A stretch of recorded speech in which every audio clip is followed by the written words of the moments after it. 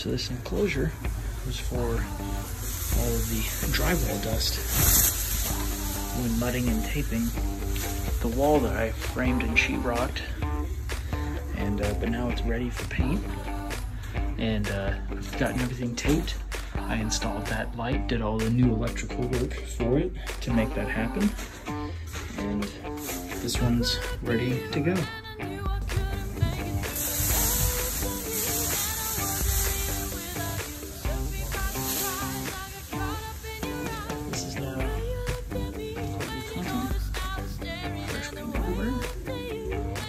I'm looking to you.